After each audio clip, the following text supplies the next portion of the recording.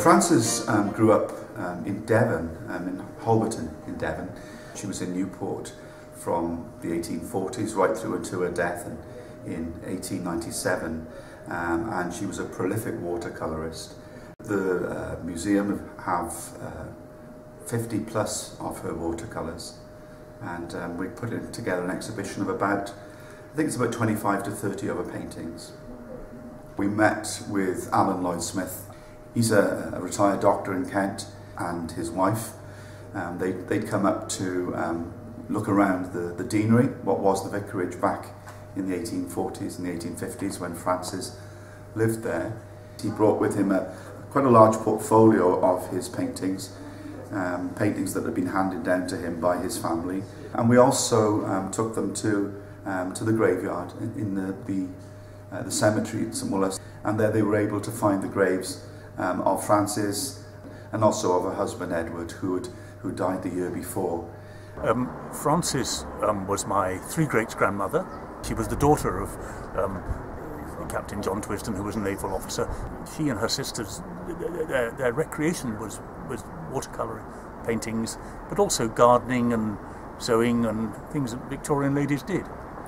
There was a tutor, a man called the Reverend John Eagles, who um, was quite well known at the time and was, was an instructor and tutor and and, and perhaps took her through the early stages of learning the, the technique of watercolours. She married Edward Hawkins, who I think probably was curate at Halberton in 1835, and then in the early 1840s he was appointed the vicar and then perhaps the dean of St Woolos, and they moved here just after the Chartists had an uprising. The paintings have been kept in the main in, in files, probably in the attic in my mother's and my grandmother's houses. So the colours have been very well preserved, so they've been unseen really for over a hundred years.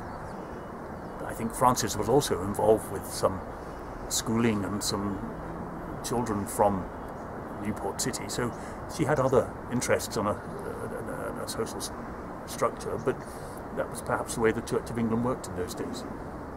So what we have is a selection of paintings from the 18 uh, 50s, the 1860s and the 1870s. The ones we've chosen focus on Newport because that's really what this section, exhibition is about. It's about Victoria Newport through her eyes.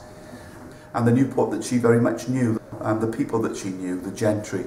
We've, we've called the exhibition The View from the Hill, and I think that's really what it is. Considering she lived just a couple of hundred yards from the workhouse, for example, nothing of that features in the paintings. Very little of Pillgwenlly, only from the distance. We see the ships in the dock, we see nothing else. So it's a semi-rural landscape, a world of Frances Hawkins and her life in Stow Hill. I think the one that we've used in the poster um, is, is possibly my favourite. It's a nocturne painted of St Woolos.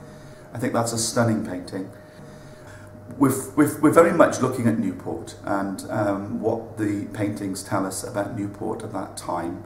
And this is something that Farnag, of course, is very keen to develop, um, this focus on, on Newport um, and its connections with our museum, our art gallery.